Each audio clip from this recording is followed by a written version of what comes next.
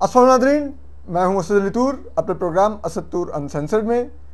आज जो हम आपके लिए खबर लेके आ रहे हैं। एक तो ये है कि इलेक्शन कमीशन को नबे दिन से आखिरी, आगे इलेक्शन ले जाने पर पहला झटका लग गया है और असद तूर अनसेंसर्ड की कल की खबर दुरुस्त साबित हुई है। जबकि उसके अलावा जो दूसरी खबर है, वो परेशान कन खबर जो खैरपुर में जो बच्ची दस साल फातिमा का जो घरेलू मुलाजमा थी, उसका जो कत्ल हुआ।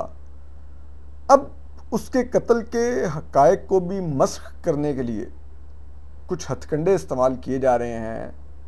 और मैं समझता हूँ कि जो सिंध के नए चीफ मिनिस्टर जस्टिस रिटायर्ड मकबूल बाकर आए हैं, उनको इसका नोटिस लेना चाहिए कि ये किस तरह से ये गेम खेली जा रही है। तो देखिए, चलिए हम इसी खबर से आगाज़ लेते हैं। वो एक अब आपको पता है ये बच्ची आ, को कत्ल करने के बाद मुबैना तौर पर जो कत्ल इसका किया गया आ, उस पीर की तरफ़ से जो एक बहुत ही ताकतवर शख्सियत है खैरपुर की। और आप उस वीडियो में देख सकते हैं कि वो दरिंदों की तरह उसको कोई परवाह नहीं बच्ची तड़प रही है वो लेटा हुआ है एक दफ़ा के देखता है हाथ लगाता है फिर उसको छोड़ के वापस लेट जाता है, बच्ची की मौत वाक़ हो जाती है। वो वीडियो तो देख नहीं सकते, मुझसे तो नहीं देखेगी। मुझे तो जो लोगों ने बताया कि इस वीडियो में ये है अब देख लें। तो अब वो जो पुलिस वाला था एसएचओ वो भी साथ मिला हुआ था। उसने कह दिया, तबई मौत हुई है। जो हॉस्पिटल का डॉक्टर था, उसने भी कह दिया, तबई मौत है, बच्ची बीमार थी। और उन्होंने दफना दिया। जबकि बच्ची की जो वालदेन थे वो उस पीर के इन्फ्लुएंशियल होने की वजह से कार्रवाई करने को तैयार थे। फाइनली खैर गवर्नमेंट ने इंटरवीन किया और ये नोटिस लिया गया एफआईआर कटी और वो पुलिस वाला भी गिरफ़्तार हुआ डॉक्टर भी गिरफ़्तार हुआ जो एसएचओ था और जो डॉक्टर था हॉस्पिटल का और वो जो आ, ये इन्फ्लुएंशियल पीर है असद शाह ये भी गिरफ़्तार हुआ। अब क्योंकि ये बहुत इन्फ्लुएंशियल इंसान है आगे इलेक्शन आ रहे हैं और सिंध में इन्फ्लुएंशियल लोगों की तो इलेक्शन बहुत ज़रूरत होती है। तो अब इस मामले को दबाने के लिए कोशिश क्या की जा रही है? अब जहरी बात है, अदालत ने कब्र कुशाई का हुक्म दिया ताकि उस बच्ची की पोस्टमार्टम अब किया जा सके और एग्जैक्ट मौत की वजह जानी जा सके कि उस बच्ची के साथ क्या वाक़ात पेश आए जिसके बाद उस बच्ची की मौत हुई। तो उसमें पाकिस्तान की हायर जुडिशरी ये करार दे चुकी है कि फीमेल का पोस्टमार्टम करते हुए एक फीमेल डॉक्टर ज़रूर होगी। यहाँ पर क्या किया जा रहा है? चारों के चारों मेल भेजे जा रहे हैं। ठीक है? दो मर्द कराची से, एक हैदराबाद से और एक नवाब शाह से। ये चार लोग उसका बदकिस्मत बच्ची का पोस्टमार्टम करने जा रहे हैं। इनमें पुलिस सर्जन नवाब शाह हैं। पुलिस सर्जन हैदराबाद हैं। प्रोफेसर ऑफ़ फोरेंसिक मेडिसिन और एमएलओ ये कराची से हैं और ये तमाम के तमाम मर्द हैं। और ये इनको किसने जनाब असाइन किया है? ये उसकी ज़र सरबराही इनका नाम मैं आपको बता देता हूँ। ये डायरेक्टर हेल्थ कराची डिवीज़न ने इन लोगों को ये केस असाइन किया है, ठीक है जी? और ये प्रोफेसर ज़कीउद्दीन अहमद, ये भी इसमें है जिन्होंने ये जारी किया है। ये लोग अब इसके साथ ये सलूक कर रहे हैं। मुझे समझ नहीं आती कि ये लोग किस किस्म के लोग होते हैं। और ये हमें वहाँ से इतलात आ रही हैं। लोग हमें कह रहे हैं कि इस पर बात करें। कल बच्ची की कबर कुशाई हो जानी है, पोस्टमार्टम हो जाएगा, केस सारा ख़राब हो जाएगा। पहले से आवाज़ उठाइए। लेकिन मैं, मुझे ये, अगर इन लोगों की बदनीति नहीं भी है, कोई मुझे ये तो बताए कि उस बच्ची का कभी आप सोचते हैं, वो किसी की बेटी है? आपकी भी बेटी हो सकती है। आपकी बहन भी हो सकती है छोटी। आप चंद लम्हे के लिए तो सोचिए कि आखिर हम लोग इतने बेहिस कैसे हो जाते हैं कि इस बेदर्दी से हम जानवरों की तरह सलूक करें इन छोटे छोटे बच्चे बच्चियों के साथ। क्या अच्छा लगता है कि आपकी जो छोटी बेटी या उसकी उम्र की बच्ची आपके आगे खाने की चीज़ें रख रही हो? कैसे हम ये बर्दाश्त कर लेते हैं? और मैं आज ये अर्ज़ करना चाहूँगा यहाँ पे लोगों को। कहूँगा कि आपके नेबर्स में, आपकी फैमिली में किसी के यहाँ बच्ची या बच्चा अंडर एज मुलाजिम हो बर मेहरबानी अथॉरिटीज़ को रिपोर्ट करें कि इनके घर बच्चा या बच्ची काम कर रहे हैं। और ये अंडर एज बच्चा है बच्ची है। उस वक्त का वेट ना करें कि जी वो टार्चर तो नहीं करते। ये है ही जुर्म। हम इन बच्चों से इनका बचपन छीन लेते हैं। इनको इन कामों पर लगाकर। बेहतर होना ये स्कूल में पढ़ें, ये भी खेलें, जिस तरह हमारे बच्चे खेलते हैं। इनके पास भी खिलौने हो। नहीं अफोर्ड कर सकते तो आप इनको जेर कफालत लेके इनको वो खिलौने दीजिए। क्या ये मुल्क रिजवाना फातिमा जैसी बेटियों का नहीं है? ये सिर्फ़ आपका मुल्क है जो अच्छा कमा लेते हैं अच्छा खा लेते हैं। और इस पर बजाय वो खुदा का शुक्र अदा करें और ऐसे तबकात पर रहम करें। आपको पता है रोज़े मैशर आपसे ये भी हिसाब होगा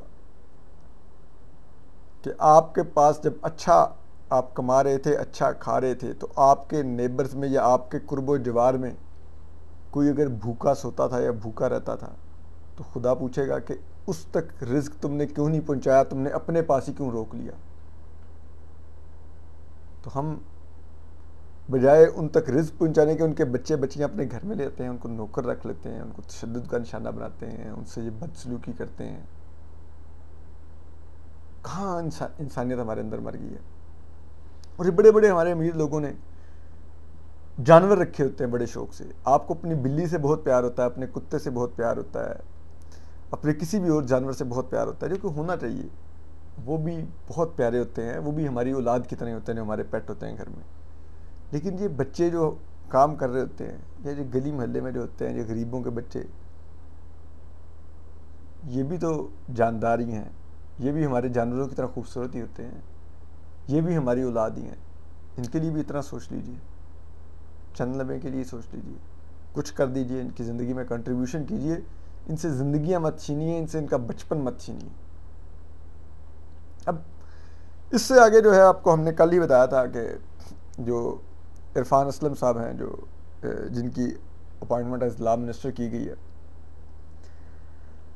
वो वकला बरदरी अब खड़ी हो जाएगी। ठीक है सारी बात है आगे तो आज़म जी तारड़ सारा कुछ मैनेज कर रहे थे और गेम खेल रहे थे सारी आज़म जी तारड़। और आपको पता है कि उनका बड़ा मकरू किरदार है सारे अमल के अंदर।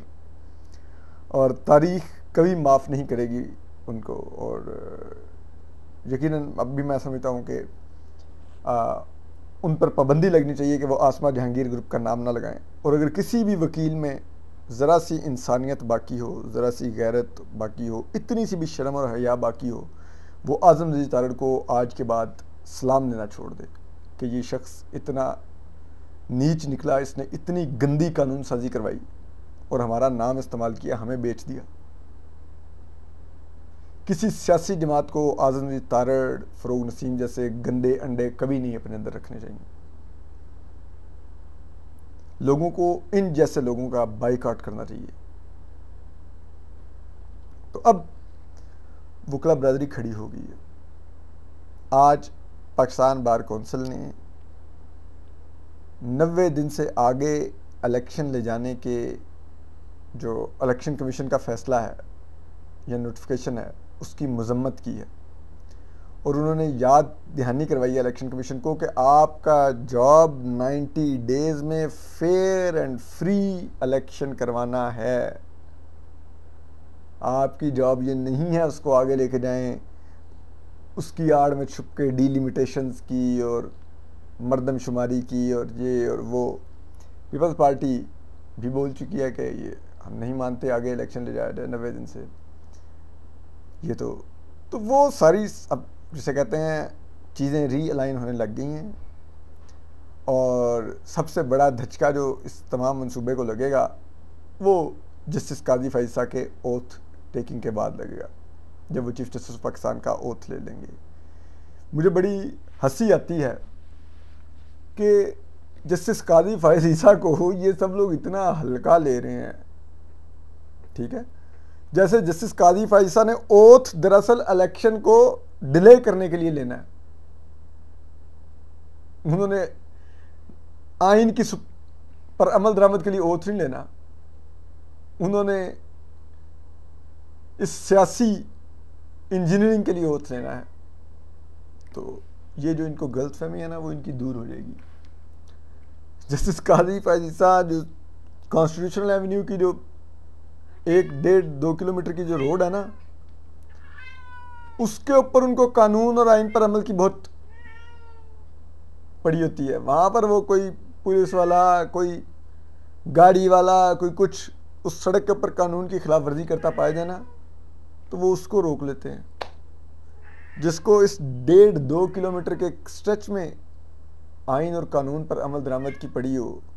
उस जज से ये उम्मीद लगाए बैठे हैं कि वो पूरे मुल्क में ये आइन की खिलाफ वर्जी कर रहे होंगे और वो इनको थपकी दे रहा होगा इंडोर्स कर रहा होगा और वो इनको कहेगा, ठीक है, जैसे मर्ज़ी है करो। ये जस्टिस कादी फैजी साहब के पास आ रहे हैं। जस्टिस इरशाद हसन खान नहीं है। जस्टिस अब्दुल हमीद डोगर नहीं है। ठीक है? ये जस्टिस साकिब निसार नहीं है। जो ये जस्टिस आसिफ सईद खोसा नहीं है। ये जस्टिस गुलजार अहमद नहीं है, ये जस्टिस उमर अता बंदयाल नहीं है। ये जस्टिस इजाजुल हसन नहीं है जस्टिस मुनीब अख्तर नहीं है। ये बात याद रखिए। वो justice, chief justice Irshad Hasan Khan था, जिसने आपको आइन तोड़ के तीन साल हुक्मरानी बगैर इलेक्शन के और आइन में तरमीम का इख्तियार दिया था। ये जस्टिस काजी फाइज आएगा। ठीक है? ये आपको बताएगा जस्टिस इरशाद हसन खान के मज़े और जस्टिस काजी फाइज ईसा के साथ काम करने के फ़र्क का। ठीक है? अपना ख्याल रखिए। अल्लाह हाफिज़।